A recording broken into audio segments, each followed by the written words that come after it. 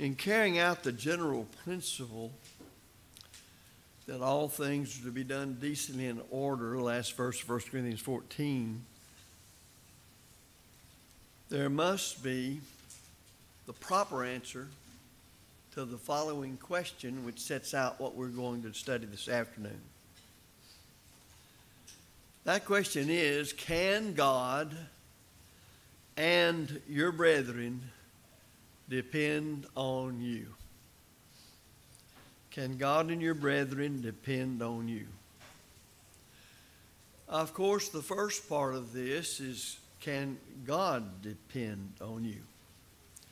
But then there ought to be a question you're raising in your mind at this point when I say, Can God depend on you? And that question ought to be, To do what? Can God depend on you? And you should be saying, Well, to do what? Well, I'm going to simply answer it with one verse of a very common passage to all of us that we use most often. Probably doesn't get practiced anywhere nearly like it ought to, but we know it. It's in the Sermon on the Mount, Matthew 6, verse 33. But seek ye first the kingdom of God and his righteousness, and all these things shall be added unto you. So, can God depend upon you? And you say, to do what? To seek first the kingdom of God and his righteousness. And all these things shall be added unto you. But when you answer that in a general way, following that question, there are other questions that arise regarding our obligations as brothers and sisters in Christ to one another and even to those out in the world that need to hear the gospel of Christ, that need to see the leavening influence of good that comes from godly people living daily among them.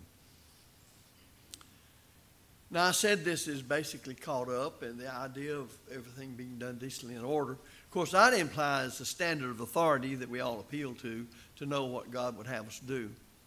So we understand that part of it. But don't try to think about what somebody else ought to be doing, even though they ought to be doing it, maybe. But try to say, uh, can your brother depend on you? Who? Well, when you understand what the Bible teaches about, let's say, in the organization of the church, the elders, the shepherds, the bishops. Can they depend on you? Elders have an obligation to the church to shepherd the church and the minute details that the Bible talks about that. Their primary work is in the area of uh, what is the best option to choose to discharge the obligation God lays on the church. They have to know the church, what the church is capable of doing. That's going to cause them to figure out what options best chosen to carry out or discharge the obligation. There always must be the idea of advantage in the option that is chosen to discharge any given obligation that God in His authoritative words placed upon the church. So, what do we owe the elders when they're striving to watch after our souls, make sure the truth, the whole truth, and nothing but the truth of the gospel is taught, that they seek to defend the faith? Can they expect help from the different members? Well, in the organization of the church on the local level, which is the only way it is organized, there are also deacons. Deacons are, the office of deacons, are assigned certain tasks to do. I like to think of them as the uh, lieutenants to the elders they too must meet certain qualifications that prove that they are active. If you'll notice one of those, they're already doing the work of a deacon, is one reason that they are to be considered, and then when they meet the other qualifications, appointed to that office. They don't do the same work as the elders do. They're not shepherds of the flock as the elders are. But in all of this, each one, his brothers and sisters in Christ, has an obligation to care for their brethren and to help each other come to the proper knowledge of the truth and to see that we're living as we ought to live. What about Bible classes? Well, teachers. Well, those teachers can't teach what they don't know. And the elders have an obligation to make sure teachers are in classes that know what they're teaching. You can go on and on. Spouses, parents, all this is involved. Can your brethren depend on you? Can your wife depend on you? Can your husband depend on you? Can your children depend on you? When I say depend, I mean to be what the Bible says you ought to be. Can our young people in general depend on you? Young people have needs, older folks have needs, people rearing children have needs. Do we think about them? Are we that mindful of them and those particular needs? There's an interesting one I'll throw in here, and this is Can I depend on myself? Because no matter how much help you get, no matter how much encouragement you get from other people, no matter elders, deacons, preachers, whatever, no matter how much good teaching you get from the best Bible teachers, unless you're going to put it into practice yourself, it's wasted. You're a free moral agent. You can know the truth and reject evil and embrace the truth, or you can do it right the other way around, too. So I have to ask as I go into this business can God and your brethren depend on you and seek first the kingdom of God and his righteousness, and all these things shall be added unto you? Can I depend on myself to put into practice the truths of God concerning who I am? Man, woman, spouse, children even as an employee or employer, God addresses how we are to conduct ourselves in those positions. Can God depend upon me to be simply a Christian and all that the New Testament defines that to be? Can our older people then depend upon us? We know that our Lord was asked, Who is my neighbor? And we usually think of neighbors as those living right close around us. But in the way the Bible talks about it, it's anybody in need. So, can our neighbors, can those in need depend upon us to be mindful of those things? The Bible says we should be. And every one of these I've mentioned, the Bible says we, in living the Christian life, are to be mindful of these our co workers, our classmates,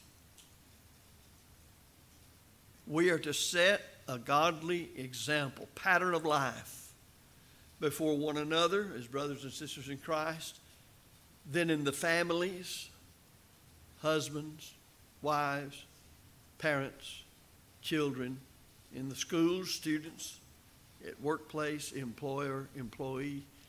There's no place that you're not to be a Christian. And the Bible tells you how to do these things. Now you'll notice each one of them could and does demand a lesson in itself as to the details. What are my particulars, say, for instance, uh, my obligations that the Bible lays on me as an employee or an employer? We can study all of that. We study the home at times as the responsibilities of husband and wife, one toward the other, and so on. So I realize there's a certain amount of specificity here, but really it's pretty general, but it's enough to make us think if we will think. When we promise to do something, promise to do something, do we make sure we do it? Now, I recognize as a human being you can't control everything. You can have the best intentions of the world to do what's right and plan on doing it. Things can come to hinder you, but I'm not talking about that.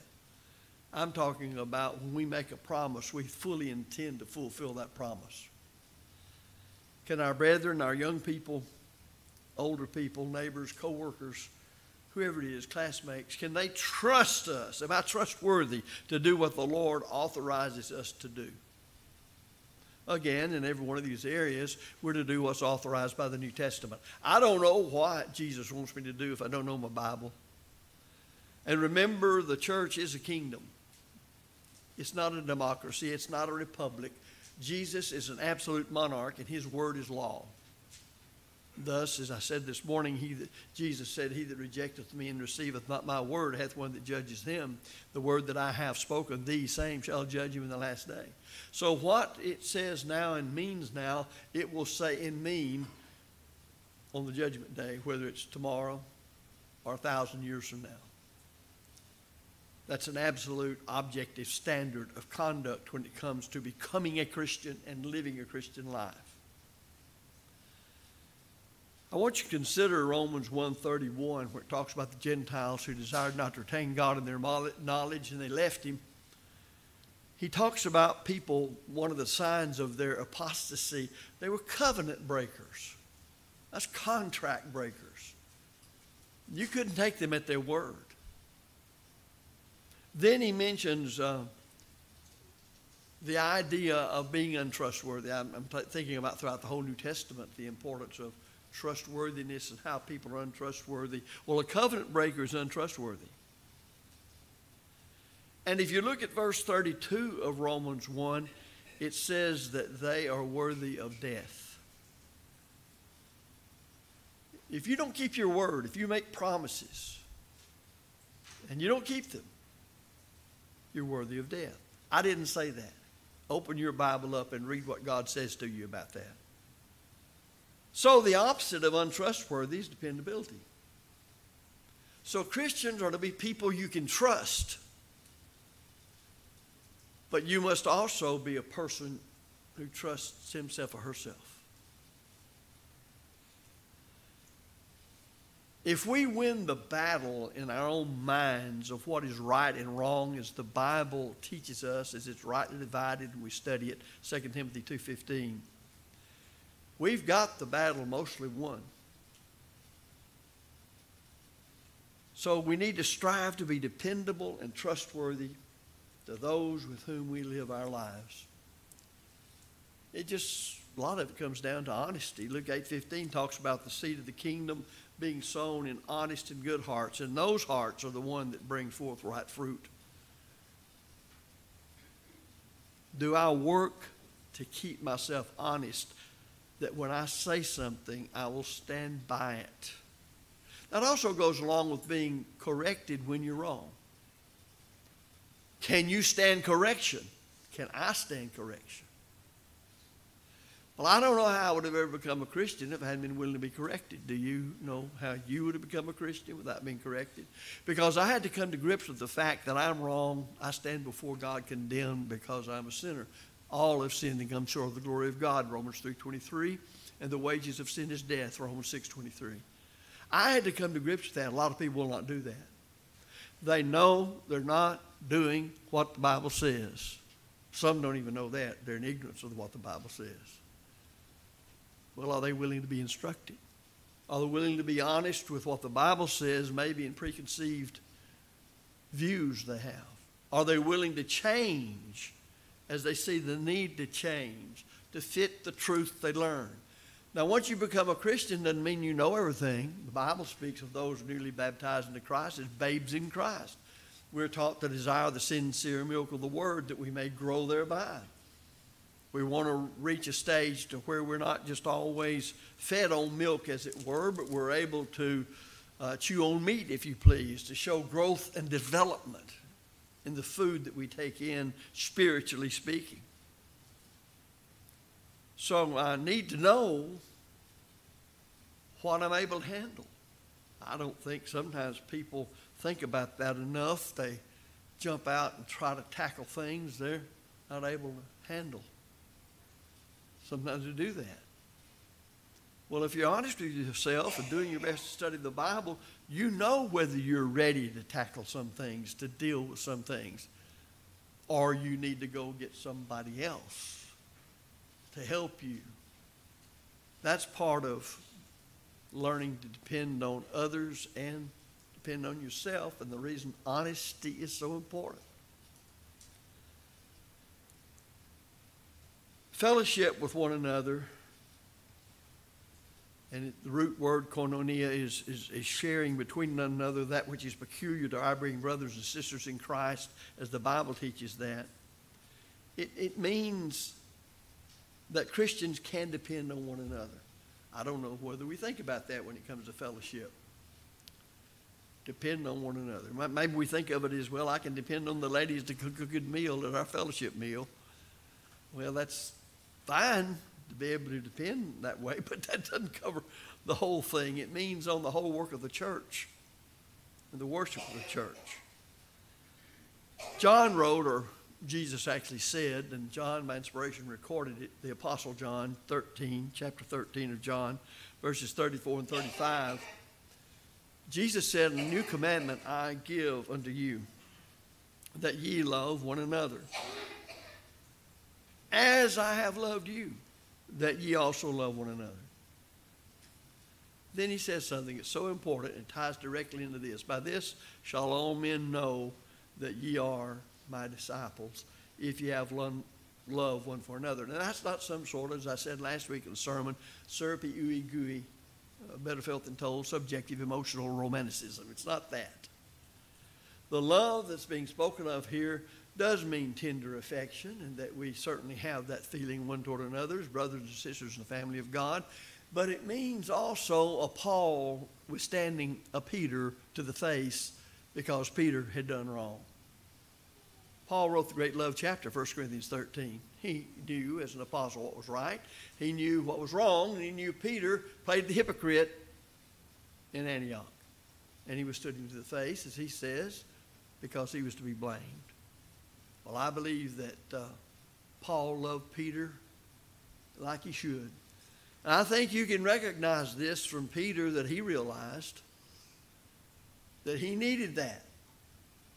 Well, we've, we've grown a lot when we realized that um, we needed that correction. We needed that kind of rebuke.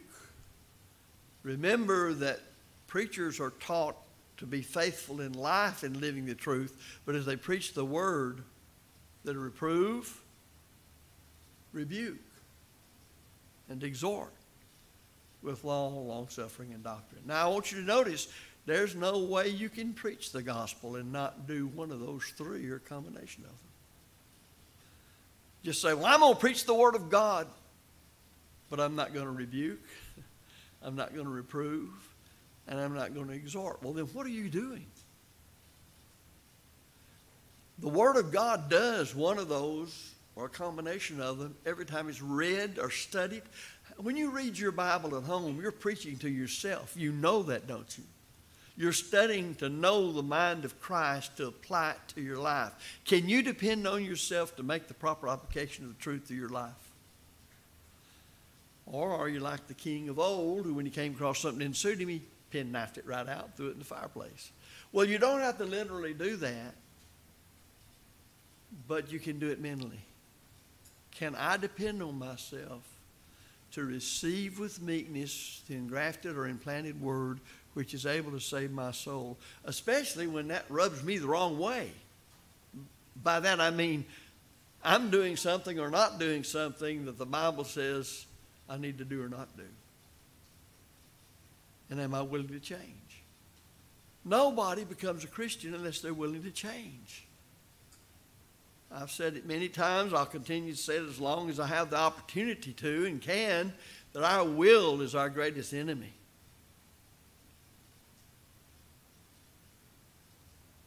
I like things done the way I like them done. Now, if you don't say that I like things done the way you like them done, I'm going to stand quite a ways away from you because I know better than that. I'm not talking about when it comes to obeying the gospel, but I'm talking about in every other way. God gives us liberty in a lot of things to like things done a certain way. I like this food. I don't like this food. Now, I love turnip greens. Ken doesn't love turnip greens. So he's wrong. there are a lot of things that where we have the liberty to like or dislike. I like boiled okra. Or if I'm proper, I'll say okra. But I grew up saying okra. Anybody here like boiled okra? I see. Now there, see Ken, there's a little Ken here. You just need to learn like turnip greens. We'll make it all right. We have that right to like. I, am using food because it's so easy to do it. Uh, but think about so many things. A lot of folks like baseball, football. Some like football more than baseball. And on and on you go. Basketball. So God's given us the liberty in a lot of things to be free to do those things. But at the same time, we are to not isolate one another because we don't like certain things. There's a difference in likes and sin. Difference in likes and sin. So if we're to love one another, we want people to do only what God says. We can't change that. We can't compromise.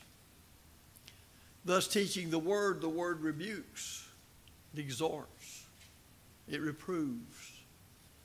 When I read it, it does the same thing for me, to myself.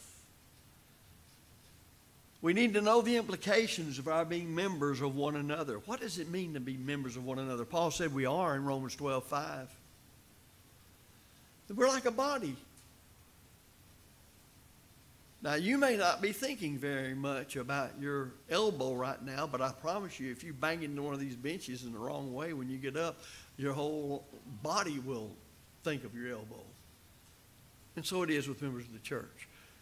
We're to be devoted to one another in brotherly love, Romans 12:10, to recognize that, that there's something different about the members of the church. They're not like the people of the world. They've heard the gospel.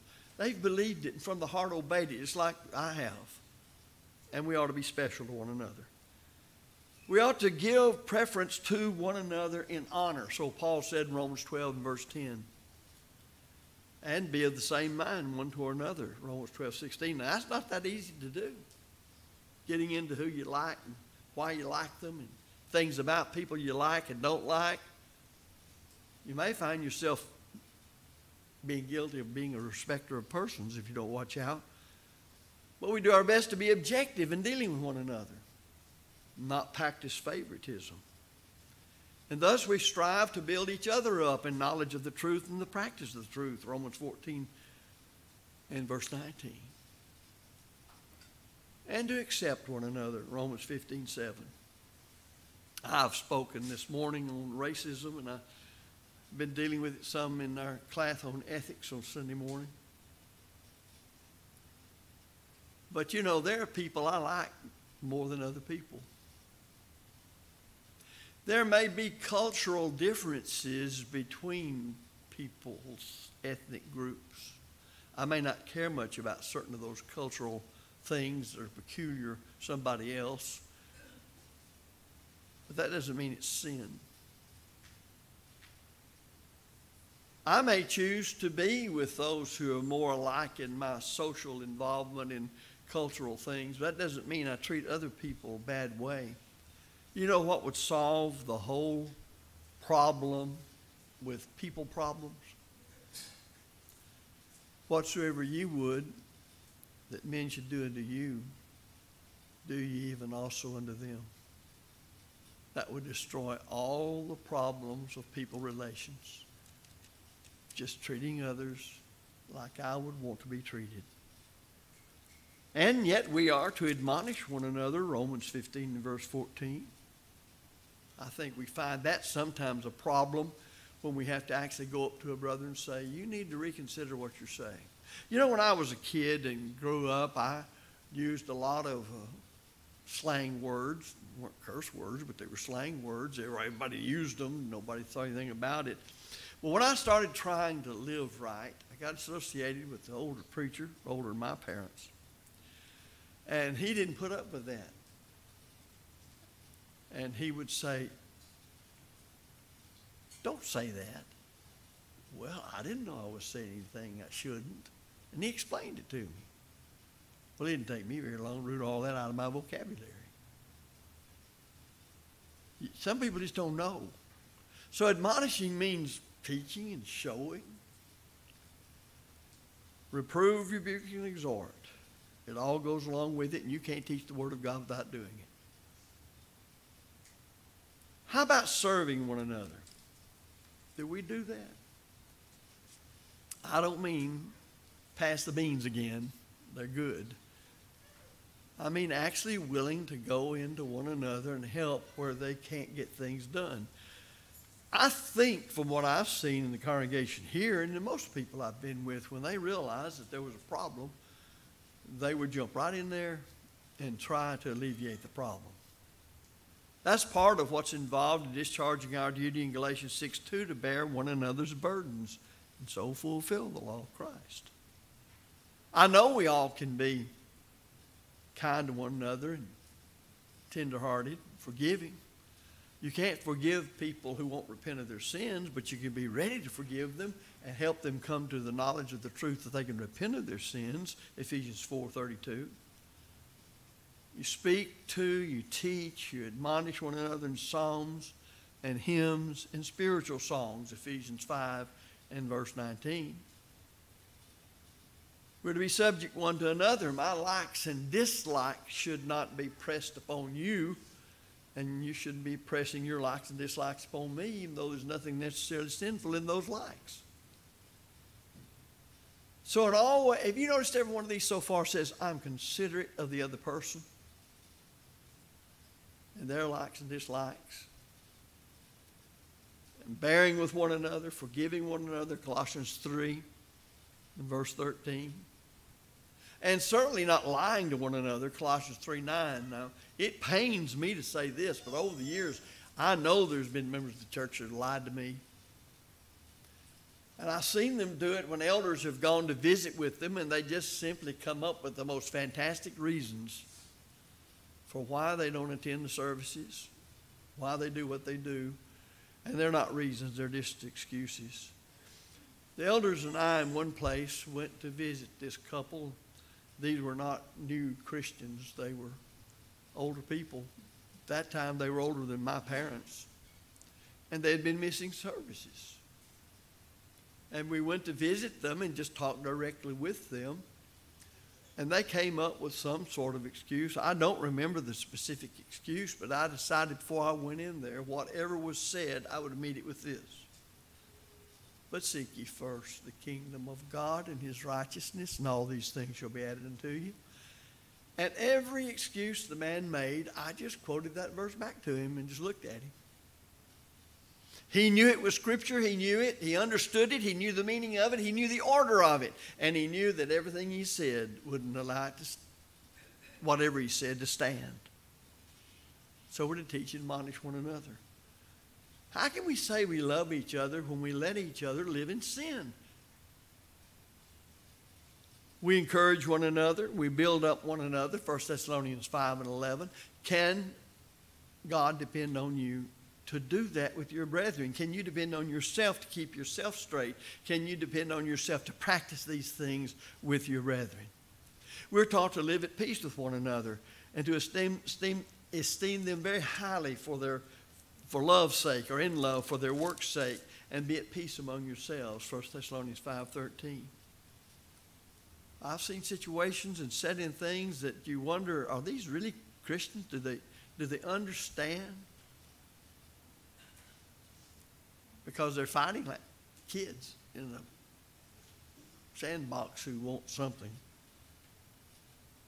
We're to seek after that which is good. I don't know what's good without god telling me what's good genuinely what is good. See that none render evil for evil unto any man, but ever follow that which is good, both among yourselves and to all men. 1 Thessalonians 5.15 We're to provoke or stimulate one another to love and good deeds, good works, Hebrews 10.24. And you see the overlapping of these because we're to encourage one another in spiritual things, Hebrews 10 25. And that encouragement is taking place even in an assembly like this. I like to think of those assemblies that we're not to forsake, wherein we worship God, as assemblies of exhortation. Because what's going on right now is designed to exhort the church to be dependable. When we sing various songs, we're teaching and admonishing one another. When we pray, we're praying for one another, and so on. And of course, when we observe the Lord's Supper on the first day of the week, we're showing forth the Lord's death till He come again and reminding ourselves of what it costs to save us from our sins. That's why that these assemblies are assemblies of exhortation. And when you choose not to be in those assemblies of exhortation, you're missing out on what God wants you to have to strengthen you to serve God, and you're showing Him other things matter more than that. We're to refrain from speaking against one another concerning things that are evil. Speak not evil one of another, brethren. He that speaketh evil of his brother and judgeth his brother speaketh evil of the law and judgeth the law. But if thou judge the law, thou art a doer of the law. Not a doer of the law, but a judge, James 4.11. That's written to Christians. The idea is not that we don't deal with the sins in our brethren's lives. That's obvious from Paul dealing with Peter. So James can't be talking about dealing with sins in our brethren's lives, but there's a way to do it. It's talking about we can come up with all sorts of things. Well, I just know so and so did that because of this. No, you don't know any such thing. You think that. But unless you have proof, prove all things, hold fast that which is good, 1 Thessalonians 5.21, then you don't need to be saying that. You don't know the motives of other people unless some way it's revealed to you. Take Ananias and Sapphira. They're wicked people. We wouldn't know that they did what they did if inspiration hadn't stepped in and told us. Just simply go back and look at Ananias and Sapphira without aid of God telling us what was going on in their hearts and what they discussed. They might have been some of the most prominent, at least appeared to be, prominent, active members of the church in Jerusalem. But they weren't, were they? But we're not in a position to know those things at times. And then we have, we close out on this, that we're to confess our sins one to another. We're to pray one for another. James 5.16. Confess your faults one to another and pray one for another that you may be healed. The effectual fervent prayer of a righteous man availeth much. Anybody here think that they have got it made? There's no improvement you need to make in your life? Well, you probably won't then. If that's the case, you're going to be sliding backwards. But if we really love one another from the heart, 1 Peter 1.22, then we're going to be mindful of our brethren and what they know, and what they're doing, and how they're living. We're going to know the difference in sins and likes and dislikes and cultural differences.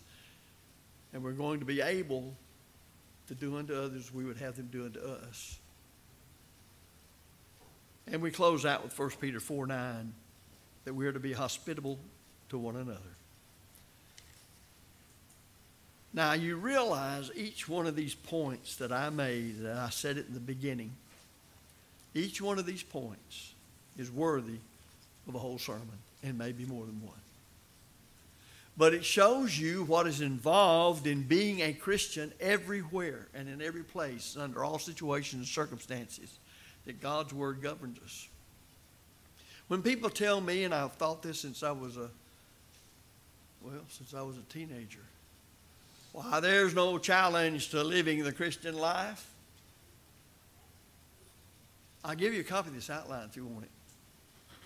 And you tell me there's not a challenge to do that all day long, every day in your life. Why, it's easy to be an elder, it's easy to be a deacon, it's easy, easy. What do you mean by easy? Paul said, after preaching the truth to others, that he buffeted his body and brought it into subjection, lest after having preached to others, he was a castaway. Now, it may be easy to understand the message, but bringing one's mind and body in subjection to the truth of God under every situation, circumstance, is not sometimes that easy. It takes all you've got to do it. It takes putting all into it wholly given to God's Word. It's not a thing you easily just move around and do as if there's not much to it. Now, that's the way people do a lot of things. And if you look at the religions around us and the way people are treating religion today, it just kind of, let's go have a big time. And you see all of this entertainment and all this kind of stuff. And the biggest shows that you can put on means you're the greatest Christians and all that kind of thing. You don't find that in your New Testament. You just can't find it. You find being a Christian a serious and sobering matter. And you find us being warned that your adversary, the devil, is a roaring lion, goeth about seeking whom he may devour. And he does it 24 hours a day.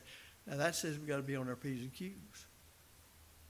We got to be sober minded. Do you ever think of how many times the Bible tells us to be sober minded? See things as they really are and then deal with them as they are. Not live in some fantasy land, but to live where we are.